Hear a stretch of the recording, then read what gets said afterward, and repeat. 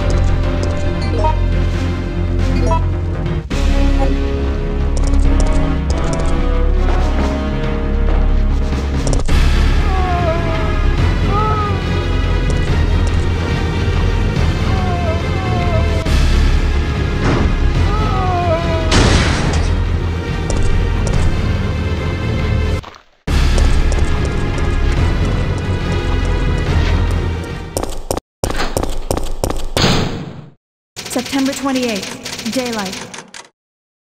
The monsters have overtaken the city. Somehow, I'm still alive.